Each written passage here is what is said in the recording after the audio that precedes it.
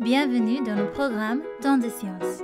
Aujourd'hui, nous interviewons le physicien Simone Baroni et parlons du comment et pourquoi le temps ralentit lorsqu'on bouge. Bienvenue Simone. Merci à vous pour l'invitation. Simone, commençons comme toujours par quelques questions pour notre public. Bien sûr. Salut. Combien de fois une minute dure une éternité? Par exemple, quand on s'ennuie à mourir ou lorsque tu attends des nouvelles très importantes. Au contraire, quand on est en bonne compagnie, une heure, une journée entière passe comme ça, on n'a rien de temps. Et il est clair que selon nos émotions, nous percevons le temps différemment. Mais en 1905, Albert Einstein a prouvé que le temps peut vraiment ralentir ou accélérer selon la manière dont nous nous déplaçons dans l'espace. On ne parle pas du temps perçu de nos émotions, mais du temps réel mesuré par des horloges. Voilà donc ce que nous voulons comprendre aujourd'hui. 1. Pourquoi et dans quelle mesure le temps ralentit-il si on bouge? Nous verrons de façon intuitive de comprendre pourquoi le temps ralentit. J'ai aussi créé un fichier Excel avec lequel tu peux calculer de combien le temps ralentit. Télécharge-le gratuitement en utilisant le lien dans la description. 2. Pourquoi le temps s'arrêterait-il si je voyageais à la vitesse de la lumière?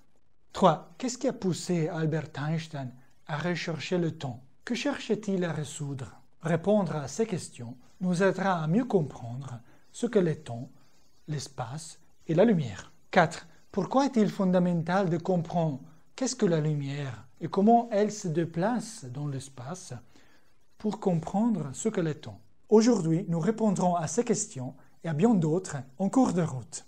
Et pour faire ça, nous allons aller au cœur de la relativité restreinte d'Albert Einstein.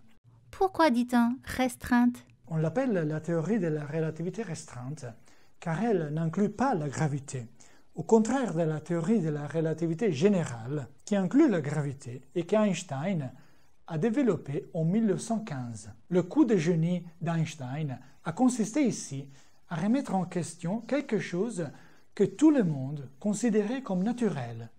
Et nous verrons dans quelques instants de quoi il s'agit. Une question. Si le temps ralentit quand on bouge, pourquoi ne le remarquons-nous pas dans notre vie quotidienne? Parce que le temps tel que nous le percevons est le résultat d'une vision inexacte de la réalité.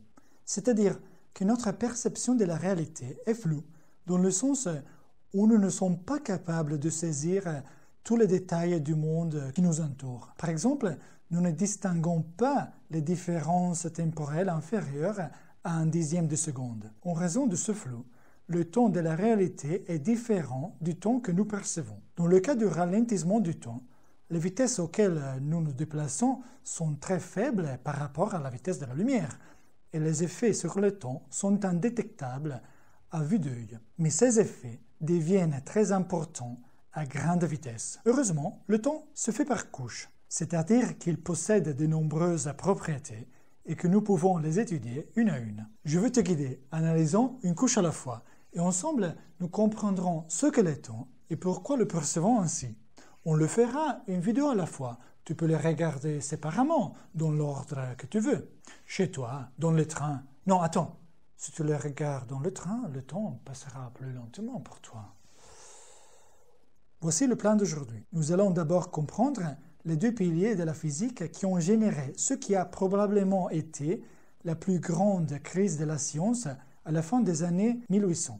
En fait, ces deux piliers semblaient tous deux valables mais en même temps, ils semblaient s'exclure mutuellement. Nous comprendrons donc bien ce que dit le principe de relativité de Galilée et certaines propriétés importantes de la lumière. Nous verrons ensuite comment Einstein a résolu cette crise d'une manière très originale en 1905 et ensemble nous comprendrons ce qu'Einstein a découvert sur le temps, l'espace et la lumière.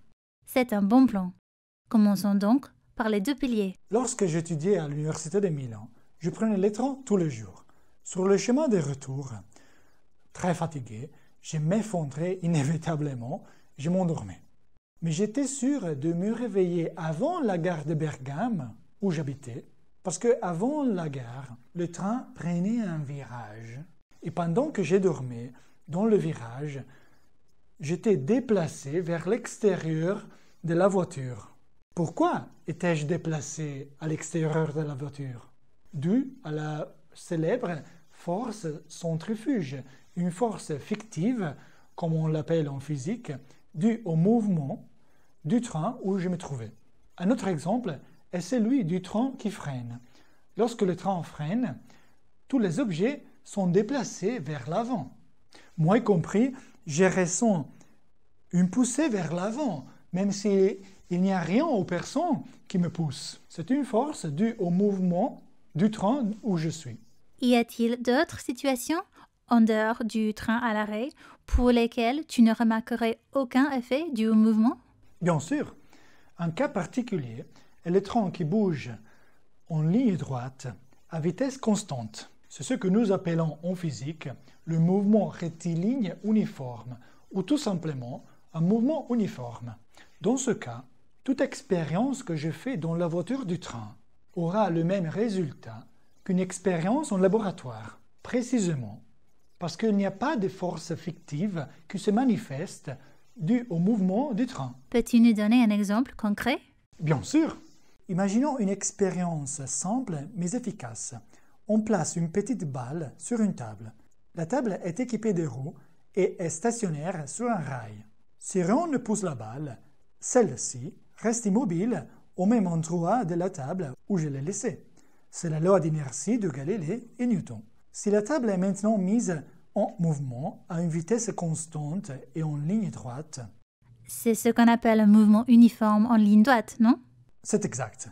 Là encore, la balle reste immobile au même endroit sur la table. La loi de l'inertie et toutes les lois de la mécanique restent valables pour un observateur qui se déplace avec la table. Mais si la table est freinée, l'observateur verrait la balle s'avancer de la table, comme si une force la poussait. La loi de l'inertie n'est plus valable pour cet observateur au freinage, car sans toucher la balle, celle-ci a commencé à se déplacer par rapport à lui. Voici comment le principe de relativité de Galilée résume tout ça, le premier des deux piliers à partir duquel Einstein a commencé. Si les lois de la mécanique sont valables pour un observateur, alors elles sont valables pour tout observateur en mouvement uniforme par rapport au premier.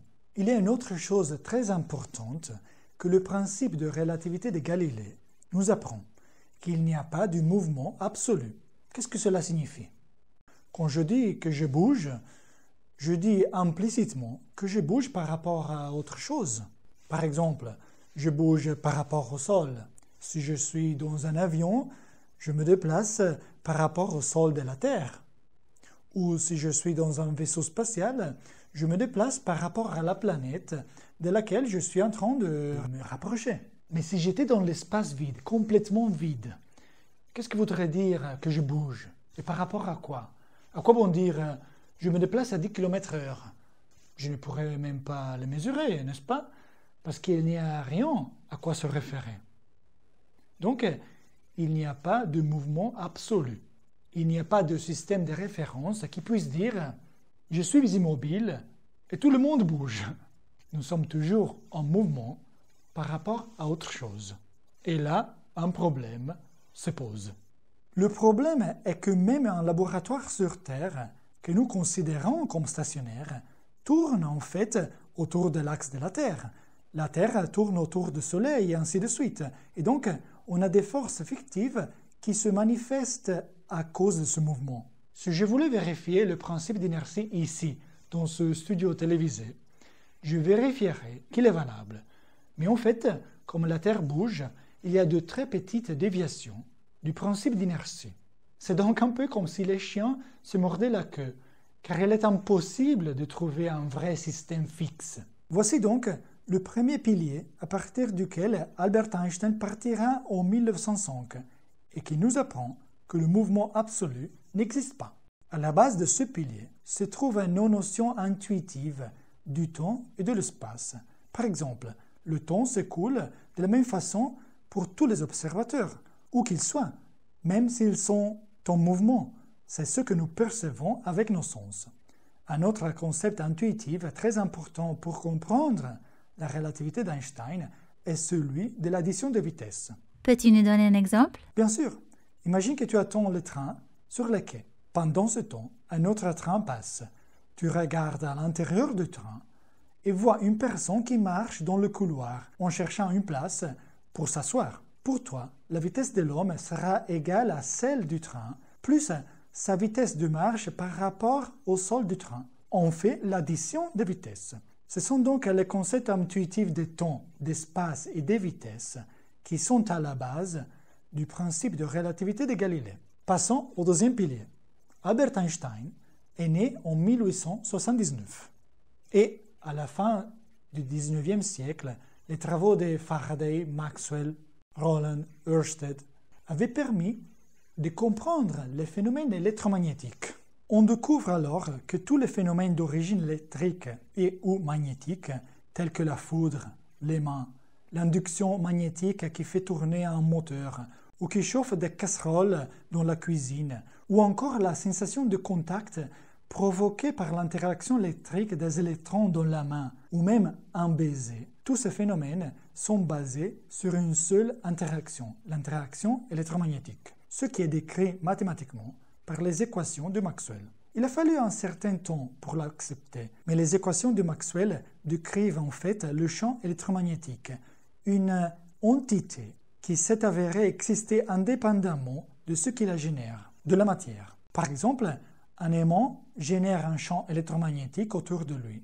Le champ se propage ensuite dans l'espace jusqu'à la boussole, et c'est finalement le champ qui agit sur la boussole, pas l'aimant. Comprendre l'existence du champ électromagnétique a constitué une avancée exceptionnelle pour la science. Le champ électromagnétique, en fait, ne faisait pas partie de la vision mécaniste du monde qui, dans les années 1800, essayait de tout décrire en termes, de, en termes mécaniques, de contact, de quelque chose qui te pousse, qui te tire, qui te traîne. Mais le champ avait une vie propre et ne pouvait pas être décrit en termes mécaniques. Finalement, l'existence du champ électromagnétique fut acceptée. Comme Albert Einstein l'a dit dans son livre L'évolution de la physique, l'un de mes livres, de mes livres préférés de tout le temps, pour les physiciens modernes, le champ électromagnétique est aussi réel que la chaise sur laquelle il s'assied. Mais n'avais-tu pas dit que l'autre pilier avait un lien avec la lumière? Quel est le rapport avec le champ électromagnétique? Exact. Le champ électromagnétique peut se propager comme une onde. C'est ce que disent les équations de Maxwell. Et la lumière n'est qu'une onde du champ électromagnétique, tout comme une onde sur l'eau fait osciller la surface de l'eau de haut en bas. Dans un faisceau de lumière, ce sont le champ électrique et le champ magnétique qui oscillent. Le physicien Hertz, avec ses travaux depuis 1887, a démontré l'existence des ondes électromagnétiques et le fait qu'elles se propagent à la vitesse de la lumière. Mais voici un fait expérimental très important sur la lumière. Les expériences ont démontré que la vitesse de la lumière est toujours la même, quelle que ce soit la vitesse de l'observateur ou de qui émet la lumière. Et cela a créé des sérieux problèmes. Et pourquoi cela a-t-il créé des problèmes? Parce que, comme on l'avait dit, on essayait toujours, dans les années 1800, de donner une explication euh, mécanique aux événements et aussi à la lumière. Et c'est comme ça que le concept de l'éther a été introduit, une substance qui allait imprégner tout l'univers et qui était nécessaire à la propagation de la lumière. Comme le son a besoin d'air ou d'un moyen pour se propager, euh, le son ne se propage pas dans le vide, la lumière aussi, pensait-on, a besoin de ce moyen euh, qu'on appelait éther. Si cela était vrai, pensait-on, tout comme nous sentons le vent sur notre visage Lorsque nous passons la tête par la fenêtre d'une voiture en course, la Terre devrait être frappée par un vent de terre juste pour se déplacer dans l'éther. Il y aurait non seulement un vent de terre dû au mouvement autour du Soleil, mais aussi un vent dû au mouvement de tout le système solaire autour du centre de la galaxie, et aussi un vent de terre dû au mouvement de rotation de la Terre sur elle-même. Et comment pourrait-on sentir la présence de ces vents d'éther s'il existait? Excellente question. De même que lorsque la voix se propage plus ou moins rapidement si nous parlons face au vent ou sous le vent. De la même manière, si un tel vent de terre existait, la lumière devrait se déplacer plus rapidement lorsqu'elle est dirigée dans la direction du vent de terre et plus lentement lorsqu'elle est dirigée contre le vent de terre. Mais la célèbre expérience de Michelson Morley, toujours en 1887, a montré que la lumière voyageait toujours à la même vitesse. En conclusion, même si le mouvement de la lumière ne peut pas être expliqué en termes mécaniques, les expériences ont démontré le deuxième pilier à partir duquel Albert Einstein a commencé en 1905, la constance de la vitesse de la lumière. Et c'est là que la crise de la physique à la fin du XIXe siècle a atteint son apogée. Parce que ces deux piliers, ces deux pierres angulaires de la science, étaient en conflit l'une avec l'autre. Les deux piliers que tu as mentionnés semblent tous deux très solides. Où se situerait le conflit dont tu parles? Le principe de relativité de Galilée est valable pour les phénomènes mécaniques, mais il est en contraste avec les phénomènes électromagnétiques, et la lumière en particulier. Et pourquoi? Pourrais-tu me donner un exemple pour mieux comprendre ces points? Bien sûr. Je vais faire bien plus que ça. Je veux te montrer que si le principe de relativité de Galilée est vrai, il est en contraste avec la constance de la vitesse de la lumière, mais aussi que si le principe de relativité de Galilée est faux, il est en contraste avec la constance de la vitesse de la lumière. Ça semble être une situation sans issue. Exactement. Supposons que le principe de relativité de Galilée soit vrai. Cela signifie que les vitesses s'additionnent. Nous l'avons vu à la base du pilier, tu te souviens? Ainsi, si un homme à bord d'un train émet un faisceau de lumière vers la locomotive, cette lumière se déplacera à une vitesse plus élevée. Mais cela, en fait, va contre le pilier de la constance de la vitesse de la lumière. Que se passe-t-il si le principe de relativité de Galilée est faux? Qu'est-ce que cela signifierait? Cela impliquerait l'existence du mouvement absolu et soutiendrait l'existence de l'éther, cette substance qui pourrait être considérée comme stationnaire. Mais cela, comme nous l'avons vu, est en contraste avec les résultats des expériences de Michelson-Morley de 1887 et la constance de la vitesse de la lumière. Les deux piliers semblaient donc corrects, mais ils étaient en désaccord l'un avec l'autre. C'était l'une des crises les plus profondes de la science. Le principe de relativité de Galilée était-il correct? Ou les équations de Maxwell qui décrivaient les phénomènes électromagnétiques étaient-elles correctes? Et comment ces profonds conflits a-t-il été résolu Beaucoup ont essayé de prouver que la constance de la vitesse de la lumière n'était pas réelle et que les expériences étaient fausses, mais ils n'ont abouti à rien. Et là, nous arrivons au point où Einstein a eu un coup de génie. Alors que tout le monde essayait de faire fonctionner les deux piliers ensemble, de faire entrer les phénomènes électromagnétiques et la lumière dans cette vision mécaniste, Albert Einstein fait quelque chose de complètement différent. Il remet en question quelque chose qui nous semblait le plus évident. Einstein remet en question comment l'espace, les temps et la vitesse sont transformés d'un observateur à l'autre. Il est le seul à considérer les deux piliers comme vrais, mais à garder l'esprit ouvert au concept de temps, d'espace et de vitesse. Le principe de relativité de Galilée devient ainsi un principe encore plus fort, valable en toutes circonstances. C'est un tout nouveau pilier, simplement appelé principe de relativité, et qui a, comme nous allons le voir, une nouvelle base, une nouvelle base avec un nouveau concept de temps et d'espace. Depuis 1905, la relativité a été comme un phare qui a guidé les scientifiques les physiciens dans tous les domaines. En ce moment, nous essayons même de combiner la théorie de la relativité d'Einstein, la relativité générale, avec la mécanique quantique, pour créer ce que l'on appelle la gravité quantique. Simone, parle-nous des résultats qu'Einstein obtient avec ses coups de génie. Avec grand plaisir. Voici les six principaux résultats qu'Einstein déduit des deux piliers. Aujourd'hui, nous nous concentrons sur les trois premiers, sur pourquoi les temps ralentissent si on bouge, sur pourquoi les objets deviennent plus courts, s'écrasent lorsqu'ils bougent, et pourquoi rien ne peut aller plus vite que la lumière. Je voudrais mentionner tout de suite que lorsqu'un objet bouge, cet objet se comprime. Dans quel sens se comprime-t-il? Dans le sens qu'il s'écrase. Par exemple, imagine un bus qui se déplace à très grande vitesse.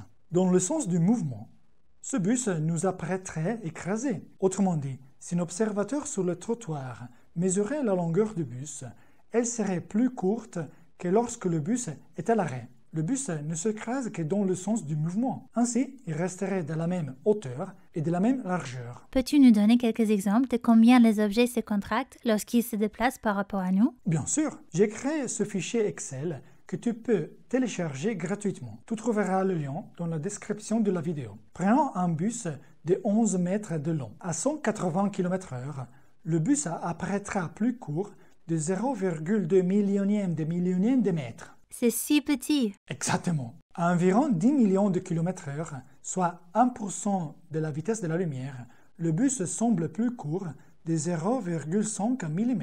À 50% de la vitesse de la lumière, le bus semblerait mesurer 9,5 mètres de long. Et à 98% de la vitesse de la lumière, le bus ne ferait que 2 mètres de long. Quand j'allais à la gare prendre le train avec mon ami Pietro, un camarade d'études, nous rions toujours quand nous voyions l'un de ces bus miniatures qui semblait être écrasé dans une seule direction. Nous l'appelions le bus relativiste. Il en faut peu pour amuser des physiciens, n'est-ce pas? Vrai. Et maintenant, nous arrivons au ralentissement du temps. Albert Einstein découvre que l'espace et le temps ne sont plus deux entités, deux entités séparées, mais qu'ils font partie de la même entité, l'espace-temps. Si je me déplace, si je change de position dans l'espace, le temps est affecté. Plus je me déplace vite, plus le temps passe lentement pour moi. Peux-tu nous donner des exemples concrets? De combien le temps passe-t-il plus lentement? Bonne question. Voici quelques exemples concrets. Imaginons que nous synchronisions l'horloge avec un pilote de Formule 1 et que ce dernier roule ensuite à grande vitesse pendant une heure. Lorsque notre horloge marque une heure, nous voyons combien de temps s'est écoulé depuis l'horloge du conducteur.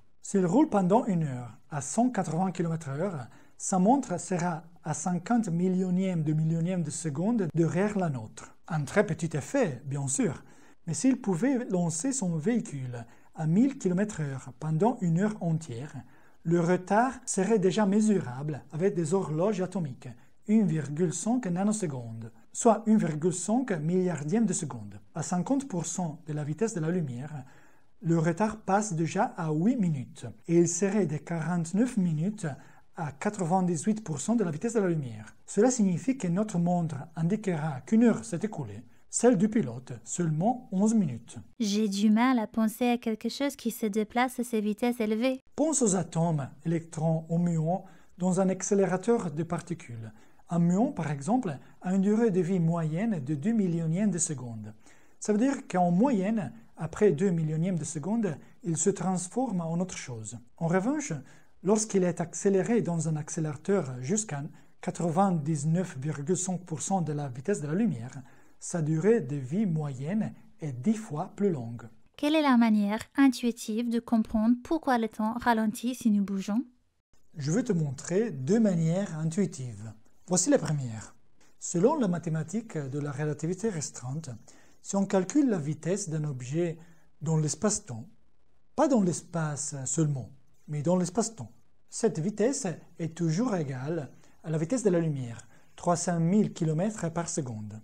Donc, cette vitesse espace-temporelle, appelons-la comme ça, peut être dépensée, utilisée pour se déplacer dans le temps et dans l'espace. Si je reste immobile, j'utilise toute la vitesse espace-temporelle pour bouger dans le temps. Si je me déplace dans l'espace, j'utilise une partie de cette vitesse espace-temporelle pour me déplacer dans l'espace. Et ce qui reste, je l'utilise pour me déplacer dans le temps qui se déplace plus lentement. Parce que j'ai utilisé une partie de ma vitesse espace-temporelle pour me déplacer dans l'espace. J'ai une question. Il est facile de penser qu'à un moment donné, je pourrais aller si vite que le temps s'arrête. n'est-ce pas? À quelle vitesse cela se produirait-il? Techniquement, si on se déplace à la vitesse de la lumière, le temps s'arrête par rapport à un observateur qui nous voit bouger à la vitesse de la lumière. N'est-ce pas absurde? Si ça s'arrête, je m'immobilise, je ne respire pas, rien ne se passe. Que m'arrive-t-il? C'est une excellente question. Ce n'est pas un paradoxe, parce qu'il faut un temps infini et une énergie infinie pour atteindre la vitesse de la lumière. Donc, si tu ne peux jamais l'atteindre, il n'y a pas de paradoxe. Et pourquoi faut-il une énergie infinie? Car l'une des conséquences de la théorie de la relativité restreinte est l'équivalence entre l'énergie et la masse. C'est la célèbre formule d'Einstein E égale mc2. Qu'est-ce que cela signifie? Que plus je vais vite, plus mon énergie de mouvement augmente. C'est ce qu'on appelle l'énergie cinétique. Et l'augmentation de mon énergie cinétique, mon énergie cinétique augmente ma masse. Mais c'est beaucoup plus facile de pousser une, une grande boîte pleine de plumes qu'une grande boîte pleine de pierres. Donc, plus je vais vite, plus mon énergie cinétique augmente, plus ma masse augmente, et plus c'est difficile de me pousser, de m'accélérer. Donc, il faut de plus en plus d'énergie pour augmenter ma vitesse, jusqu'à ce qu'on s'approche de la vitesse de la lumière, et il faudra une énergie infinie pour atteindre la vitesse de la lumière. La vitesse de la lumière n'est pas donc atteignable. Et quelle est l'autre façon intuitive de comprendre pourquoi le temps ralentit? Pour l'autre façon intuitive de comprendre pourquoi le temps ralentit, nous devons construire une horloge à lumière.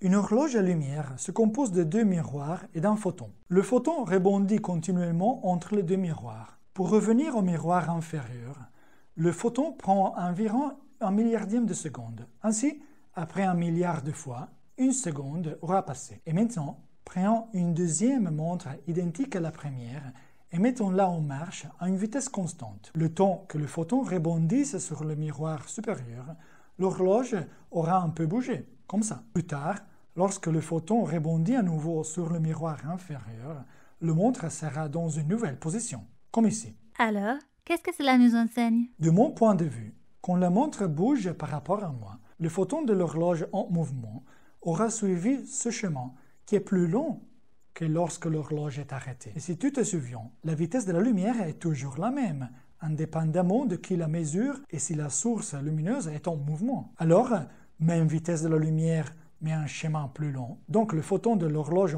en mouvement, met plus de temps à battre un coup, à revenir au miroir inférieur. Cela signifie que l'horloge tourne plus lentement. J'ai une autre question. Quelle est l'une des implications les plus fortes de la limite supérieure de la vitesse de la lumière? Cela a certainement bouleversé la conception du monde. Exactement.